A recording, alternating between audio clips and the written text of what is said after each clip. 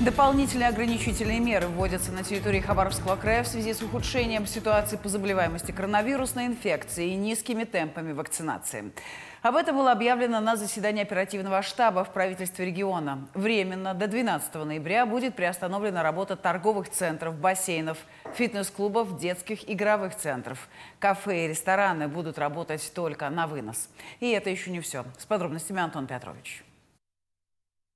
В Хабаровском крае за последние несколько недель фиксируется самый высокий прирост заболеваемости коронавирусной инфекцией по Дальневосточному федеральному округу.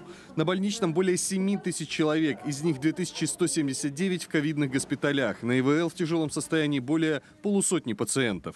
Мы сейчас э, в первой двадцатке по росту. Нас опережает э, Москва, Московская область, Приморский край. Но тем не менее цифра прироста у нас достаточно высокая. Это порядка 20%. Ситуация с летальностью, она достаточно высокая. При этом Роспотребнадзор и сотрудники полиции в ходе рейдов выявили многочисленные нарушения противоэпидемических и санитарных норм в торговых точках общепития, общественном транспорте не соблюдаются профилактические противоэпидемические мероприятия, о чем мы предупреждали, о чем мы говорили. Сегодня мы видим, проводя контрольно-надзорные мероприятия.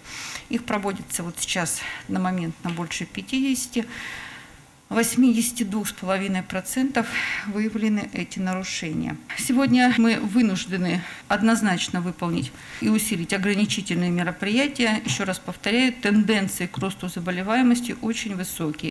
В связи с ухудшением ситуации по заболеваемости и низкими темпами вакцинациями было принято решение с 4 по 12 ноября в городах края, поселке Переяславка и Хабаровском районе закрыть торговые центры непродовольственных товаров, развлекательные объекты и алкомаркеты.